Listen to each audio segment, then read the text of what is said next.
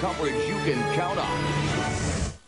A piece of debris falls from an overpass and it sends a driver to the hospital.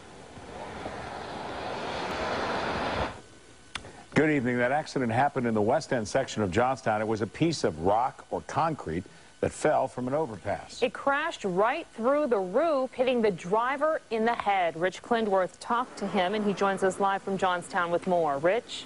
Jen, I'm underneath the Norfolk Southern Railroad's overpass here at Fairfield Avenue in Johnstown's West End section. And when you're underneath this overpass and you look up, you can see where debris has broken off in the past.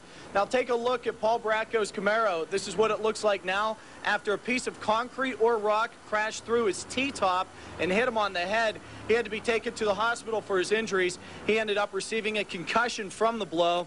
He says that as he was driving through the overpass, he thought the falling object was a pigeon, but as he would soon find out, it wasn't a pigeon.